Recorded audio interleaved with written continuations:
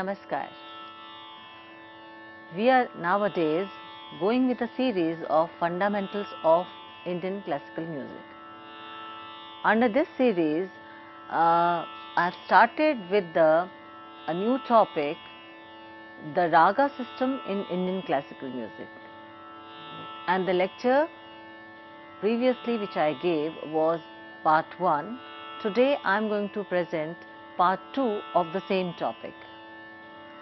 A raga system is a very unique system in Indian classical music. And as I told you why it is unique? Because it has its own way of presentation, it has its own way of practicing, it has its own structure which makes it different from other forms of music. When we say classical, a sentence comes in our mind that classical is for the classes and not for the masses.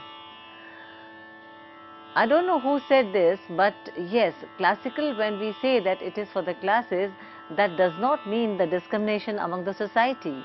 But why classes? Because for classical, you have you should have the taste of classical music. To listen to classical music, you should have the interest towards the subject. Now, how this interest is created? The interest is created when you understand the subject the, uh, the word understand is very important. Unless you understand any of the topic of any subject, it is not interesting. You cannot do anything. Anything that means that you cannot uh, read the subject, you cannot understand the subject, you cannot proceed with the uh, study material of the uh, topic of the subject. Now, when we say the raga system in Indian classical music, what makes it different? The ragas, as I told you, that a rag is a combination of notes or you can say the musical tones coming one after another as a succession and which have a unique uh, quality of ranjakta. What is ranjakta? Ranjakta has come from ranj dhatu which means to please somebody, to please or to have that uh, mm, uh, the charming, that attraction is there to get that pleasure out of it. Uh, pleasure can be of different types, pleasure can be of happiness, pleasure can be of anything else also. When we say that uh, when we listen to any particular rag, we uh, get the feeling of a sadness or we feel like, you know, uh, to sit somewhere and do meditation or we are so happy about it that we want to express the happiness or we are enjoying the nature different type of emotions are there we call them rasas in hindi भारतीय शास्त्रीय संगीत की यही एक विशेषता है कि उसमें जो रस की निष्पत्ति होती है वो उसको अलग बनाती है रागों को जैसे मैंने आपसे कहा कि राग जो है वो रंज धातु से आया यानी रंजकता रंजकता मतलब आनंद की प्राप्ति करना यानी जो आ, हम जो भी हम सुनते हैं, उसके स्वरों से स्वर जो है, वो क्रमानुसार जो है, एक के बाद एक जब स्वर आते हैं और उनसे जो एक एक स्ट्रक्चर बनता है या एक हम कहें, एक धुन बनती है, एक ट्यून बनती है, उसको हम बार बार जब गाते बजाते हैं तो उस राग के जो रस यानी उसका जो भाव है, वो उत्पन्न होता है। ये भाव जिसे हम इमोशन भी कहते हैं। इस भाव की उत्पत्ति जो है जिन स्वरों से होती है वही भाव जो है वो रंजकता का द्योतक है। मैं रंजकता की बात करती हूँ तो रंजकता जब हम किसी भी एक राग को सुनते हैं उसके स्वरों से कुछ जो भाव आता है वो हमारे हृदय को छूता है। कहीं ना कहीं हमें हमें अंदर से जो है वो ए, वो हमारे जो हार्मोन्स हैं या हमारे जो अंदर जो हमारे हमारे मन मस्तिष्क को जो है वो कैप्चर करता है, यानी वो हमारे उसको छूता है और उसके बाद वो स्वर बाहर निकल जाते हैं। लेकिन वो जो भाव जो हमें छूता है जब भाव हमें आत्मविभोर कर देता है, वो भाव जो है वही रस है, वो भाव जो है वही रंजकता है। अब रंजक शब्द का मतलब तो हम ये नहीं कह सकते कि सिर्फ़ प्रसन्नता से ही है, हर्ष से ही है। ये एक सैडनेस या एक डिप्रेसिंग भी हो सकता है, ये एक वीर रस से युक्त भी हो सकता है। ये एक शांति का भाव भी दे सकता है, करुणा का भाव भी दे सकता है। अलग अलग तरह के जो हैं हमें भाव जो है, उनसे हम लोग जो है परिचित होते हैं। और ये कौन करता है? ये संगीत के स्वर करते हैं, यानी सारे गामा पधनी जो हम इनको गाते इनके अलग अलग हम जो है कॉम्बिनेशंस बनाते हैं। और उससे जो भाव, जो गा बजा कर जो कोई भी चीज़ जो है वो हम सिर्फ़ थ्योरेटिकली करें, वो उससे संभव नहीं है आनंद का प्राप्त करना। हाँ ये ज़रूर है कि पढ़ने में भी आनंद आता है, किसी चीज़ को हम जब उसको मात्र पढ़ रहे होते तो वो समझ आती है। और ये समझ आना जो है उस आनंद से कहीं डिफरेंट है, जो कि संगीत और कला के द्वारा आता है। इसीलिए इसको जो है बिल्कुल एक अलग जो है कला कहा गया है। अब शास्त्रीय संगीत में जो रागों की बात कहते हैं तो राग जो है वो अपने आप में अपनी एक छवि लेकर चलता है। राग अपना उसका एक ढांचा होता है, अपना एक स्ट्रक्चर होता है और उसको जानना बेहद ज़रूरी है। हम राग को जब समझकर करते हैं तो उसका आनंद बहुत जल्दी हमें मिलता है, उसके रिजल्ट्स हमें बहुत जल्दी मिलते हैं। तो उसको समझकर ही करना चाहिए। राग पद्धति जो है विश्व में अपने आप में एक अलग पद्धति है, जो भारतीय संस्कृति या भारतीय कला को जो है एक विशिष्टता प्रदान करती है, विशेषकर गायन और वादन में। जब हम बात करते हैं कि संगीत में रागों की बात करें तो रागों को मैं साधारण उसमें बोलती हूँ कि स्वरों का एक ऐसा एक डिज़ाइन या एक मेल, स्वरों के मेल से एक ऐसा खाका सामने आना जिसमें कि एक भाव है जिसको गाने बजाने से वो भाव की अभिव्यक्ति होती है। ये भाव हमें बहुत कहते हैं ना इट्स वेरी टचिंग हमारे हृदय को छूता है और उसके बाद हम कुछ फील करते हैं। उनको हम कोशिश करते हैं उसकी अभिव्यक्ति शब्दों में कहना लेकिन वो वो जो प्लेजर वो जो आनंद हम फील करते हैं उसको हम कैसे अभिव्यक्त करते हैं? अलग अलग रसों के आधार पर हम कह सकते हैं कि इसमें आ, हमें बहुत जोश आया और हमें इसमें बड़ा वात्सल्य का भाव है। इसमें गंभीरता है। इसमें बिल्कुल आध्यात्म की तरफ़ चले जाओ। इस तरह का भाव है। या इसमें बहुत श्रृंगारिक भाव है। इसमें बहुत चंचलता है।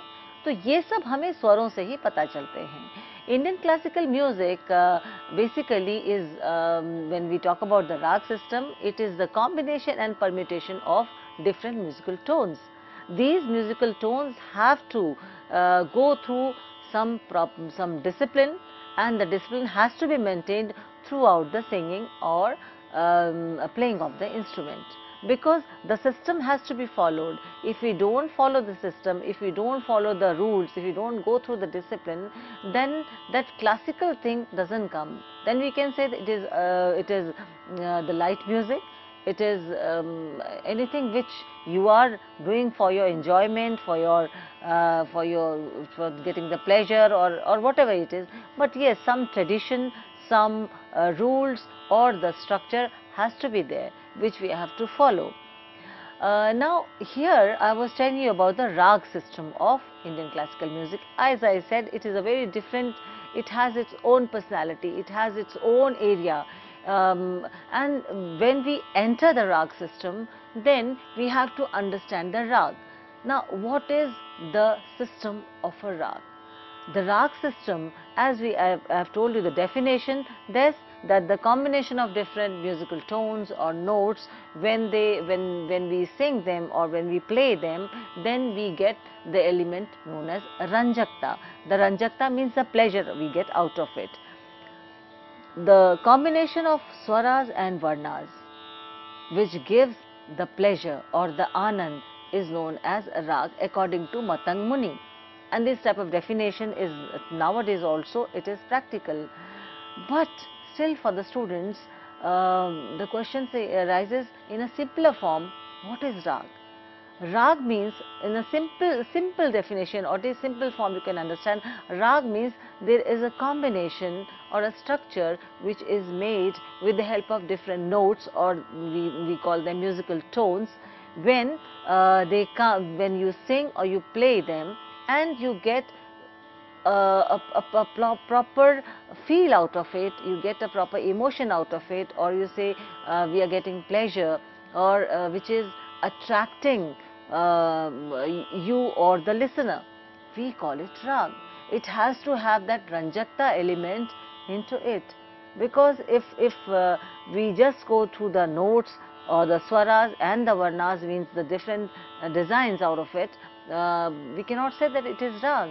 It has to have, it has to touch our heart, it has to, we have to have that feel out of it. The emotion has to come out of it. So then only we can call it rag.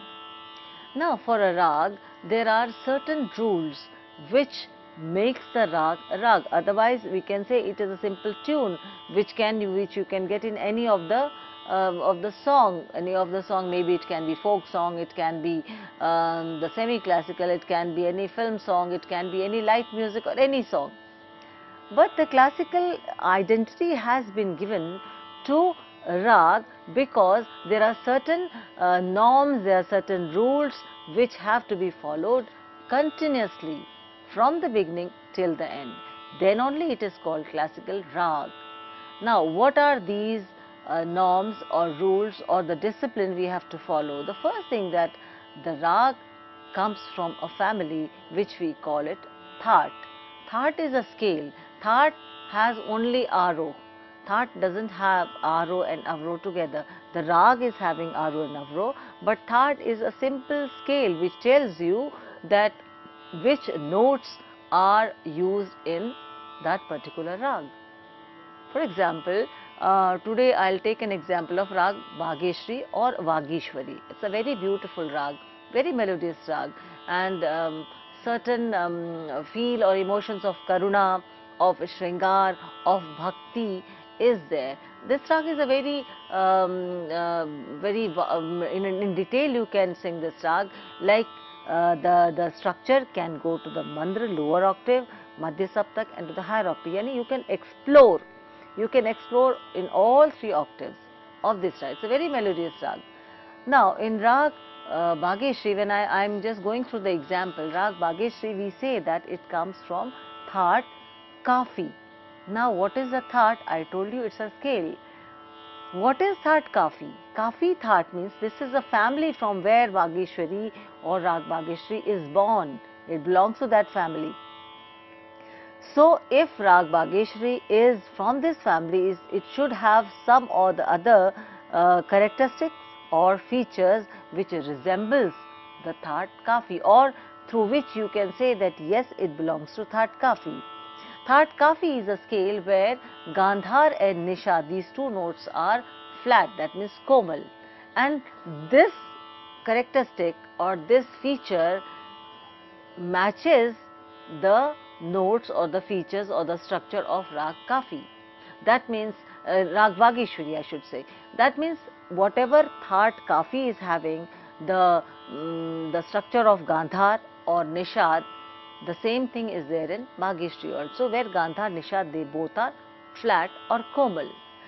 राग बागेश्वरी या राग बागेश्वरी जो है, उसमें गांधार निशा दोनों जो है, वो कोमल होते हैं, यानी अपनी जगह से थोड़ा नीचे खिसके हुए और क्योंकि थाट काफ़ी महज एक सप्तक है, एक एक स्केल एक ट्रैक है, जिसमें कि हमने देखा कि थाट काफ़ी में गांधार और निशा जो है, वो कोमल है तो बागेश्वरी में ये जो एक ख़ास बात है ख़ास विशेषता है थाट काफ़ी की वो बागेश्वरी में बखूबी दिखाई देती है। लेकिन थाट जो है वो तो मात्र सात स्वरों का समूह है जो ये बताता है कि इसमें गांधार निषाद कोमल है। थाट काफ़ी की हम बात करें। हम किसी और थाट की बात करते तो स्वरों की उसमें किस प्रकार से स्वरों का आ, का स्थान है या स्वरों का क्या स्वरूप है वो हमें पता चलता है। काफ़ी से उत्पन्न, यानी बागेश्वरी काफ़ी परिवार से है, काफ़ी थाट से, उससे उत्पन्न राग बागेश्वरी या राग बागेश्वरी का स्वरूप क्या होगा, इस पर हम ध्यान देते हैं। तो इसका हम आरोह और अवरोह दोनों को पहले हम देखते हैं। सा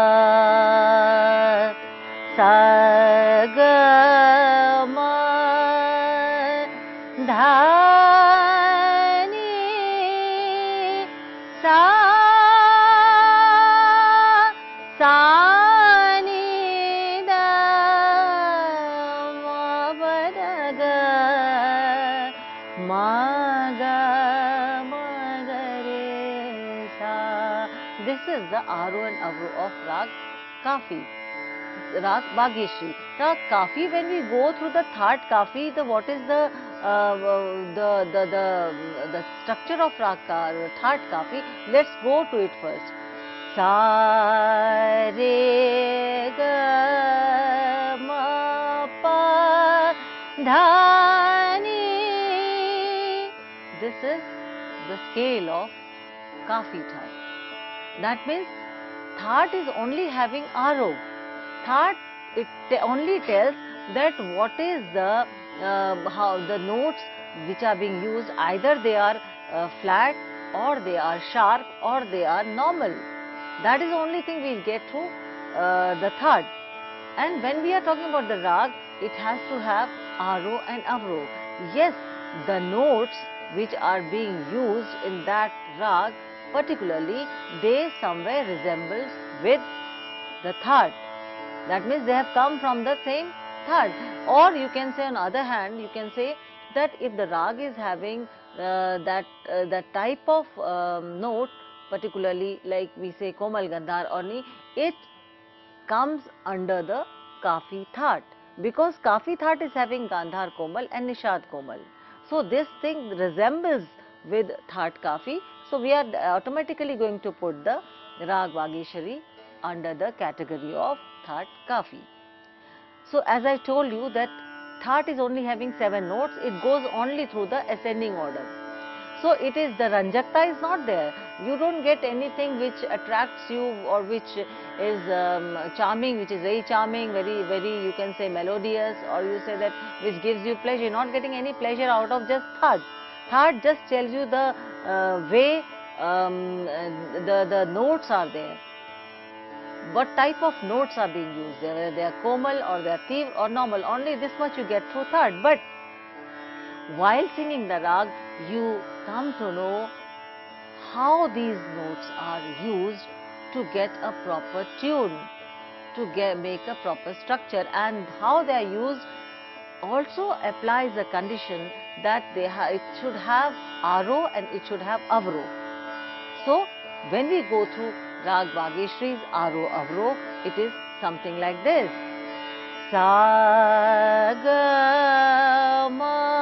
gandhar is komal again nishad is komal sa sani nishad is again komal ma pad gandhar is komal Maga. So whenever the Gandhar will be used, it will always be Komal or you say it flat. Whenever Nishad is going to use, it will always be flat or Komal. Now another thing comes the Pakad. That means the phrase through which you can easily make out, you can easily understand, you can easily identify the rag. That is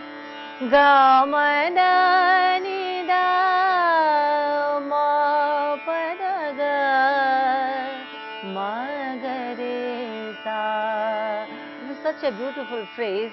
Whenever um, uh, in, a, in a very short way you you want to tell that yes this is rag bhageshri you just want to give the introduction of rag bhageshri or the phrase which through which you immediately identify the rag. This is that phrase Gamadani where Gandhar is Komal, Nishad is Komal and we emphasize on Madhyam. Why? I'll tell you later on.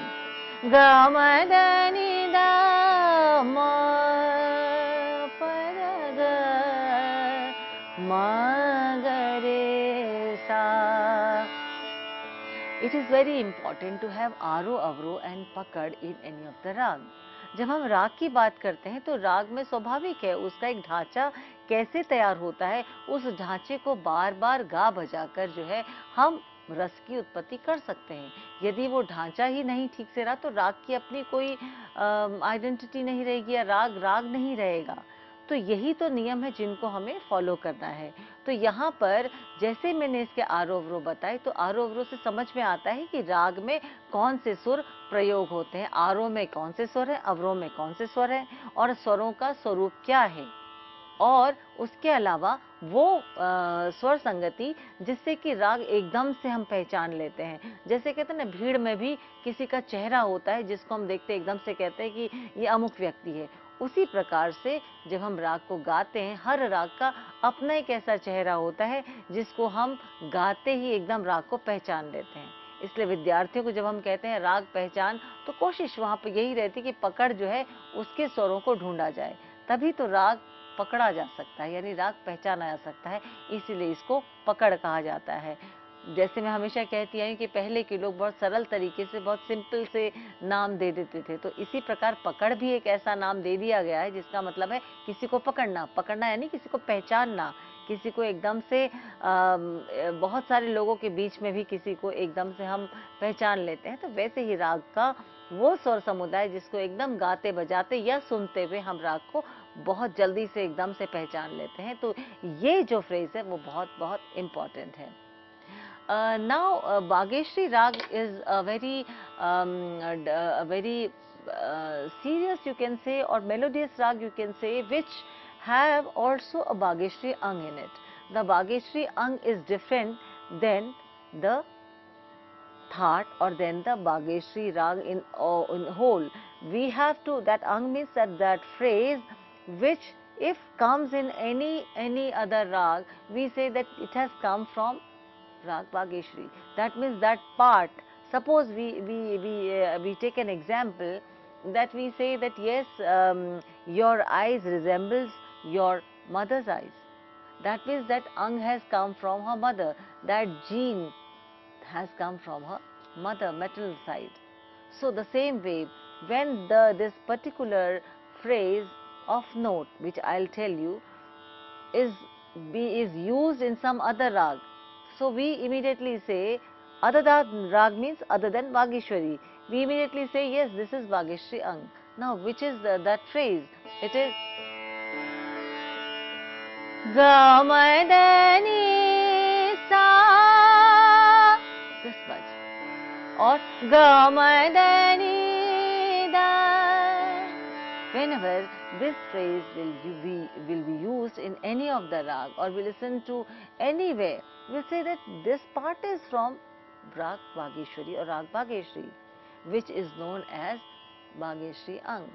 The question must be there why it is important to have Bhageshwari Ang. Can't we go without that, just knowing the, mm, the notes or um, just knowing the Arovra and the Pakad?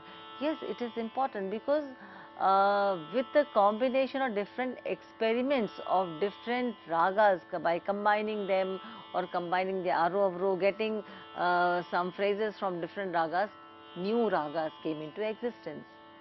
So you cannot say that we anybody knows all the ragas. But with the help of these phrases which are known as Ang, we can easily say, yeah, here is Vagishyang, here is Kafi Ang. And we can easily know how the rag was made with the help of how many ragas the new rag came into existence.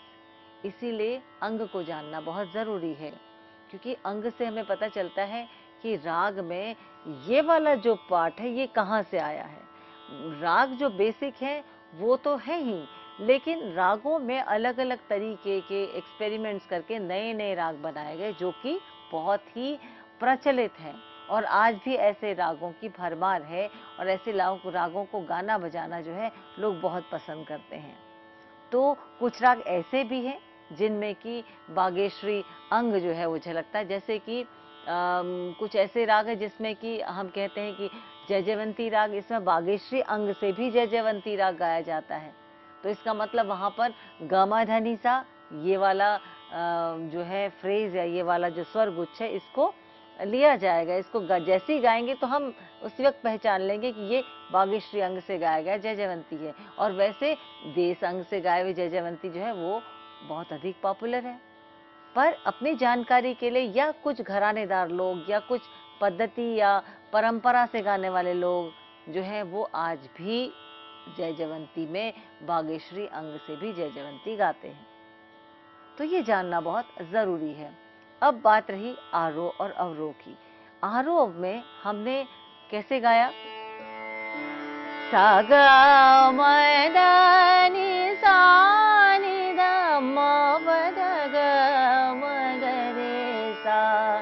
Now, some of the people they start from Mandra Dhaivat also. How? Dha, sa. Like this, they do the uh, beginning of the rag. Dani sa ga ma sa sa ni da ma ga ma ga re sa. Some of the people they don't take pancham uh, every time sometime only they just to beautify the rag, they use the pancham ma with this phrase, but not all the time. So they say that they uh, can sing without pancham also, they can sing the Vageshri Avro. Sa da sa ध नि सा ग म ध नि re sa it gives a complete picture of the rag so rag is why rag is known as a totally different style of singing in Indian classical music or, or style, style of music in different uh, in Indian classical music other than um, other um, we can say through western music folk music or music of any type. Why it is different? This makes it different. Its uniqueness is based on the notes on the way the rag is explored. It makes different. So we will continue the detail of it in our next session